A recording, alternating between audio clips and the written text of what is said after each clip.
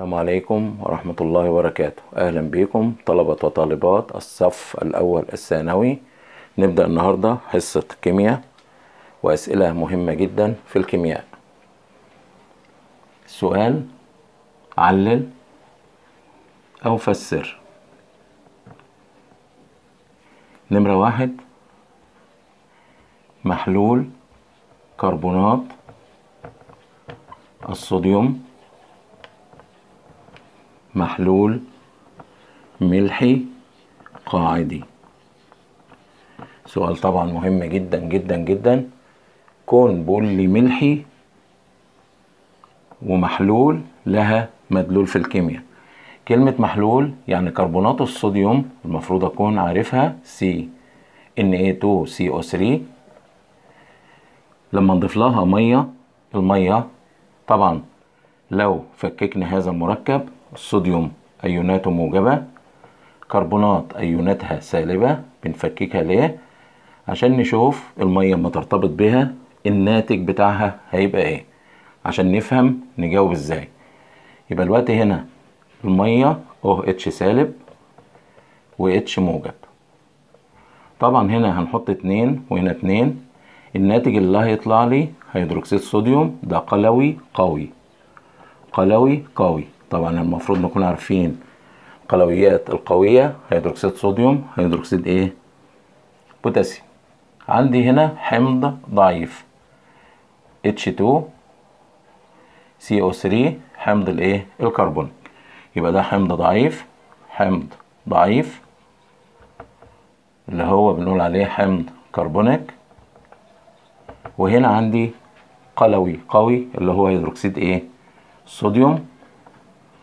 هيدروكسيد الصوديوم يبقى ممكن نجاوب ببساطة كده الإجابة النموذجية ليه محلول كربونات الصوديوم محلول ملح قاعدي لأنه لأنه ناتج من تفاعل حمض ضعيف مع قلوي قوي.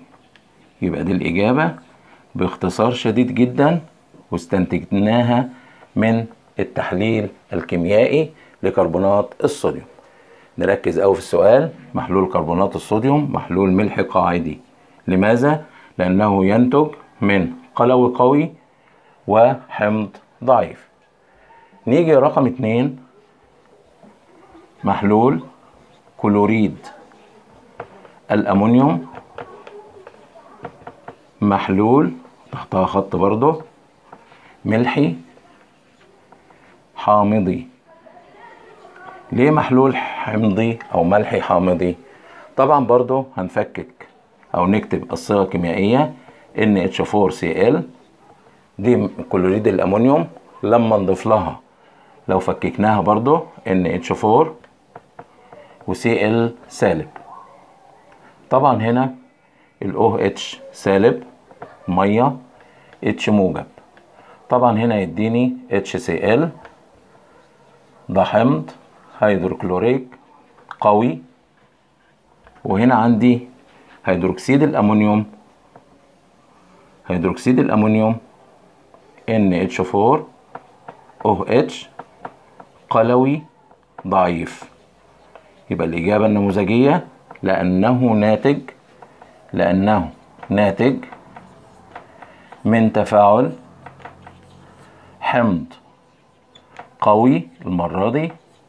تحتها خط هنا كان حمض ضعيف. مع قلوي المرة دي هنا ضعيف. إذا الناتج بيبقى محلول ملحي إيه؟ حامضي. نيجي السؤال الثالث المهم جدا. علل محلول كلوريد. الصوديوم محلول ملحي متعادل. أسئلة غاية في الخطورة ومهمة جدا في الامتحانات في أولى ثانوي ودي كانت موجودة في ثانوية عامة قبل كده في المناهج اللي قبل دي. فكلمة متعادل نشوف كلمة متعادل إزاي. هيدروكسيد صوديوم NaCl طبعا ال Na موجب ال Cl سالب. ال Na هنحط معاه OH سالب هنا ال H إيه موجب. الناتج زي ما إحنا شايفين حمض قوي وقاعدة قوية. اذا لابد أن يحدث تعادل. يبقى هنا HCl حمض. هيدروكلوريك حمض قوي. هنا هيدروكسيد صوديوم. هيدروكسيد صوديوم ده قلوي قوي. اذا النتيجة النتيجة هنقول لأنه ناتج لأنه ناتج من تفاعل حمض قوي مع قاعدة قوية ودي مهمة جدا جدا هذا الكلام. الاتنين أقوياء إذا يحدث إيه؟ التعادل. دي كانت حلقتنا النهاردة إن شاء الله. الحلقات القادمة هنبدأ ناخد أجزاء جديدة في منهج الكيمياء للصف الأول الثانوي. متنسوش الاشتراك في قناتنا. والسلام عليكم ورحمة الله وبركاته.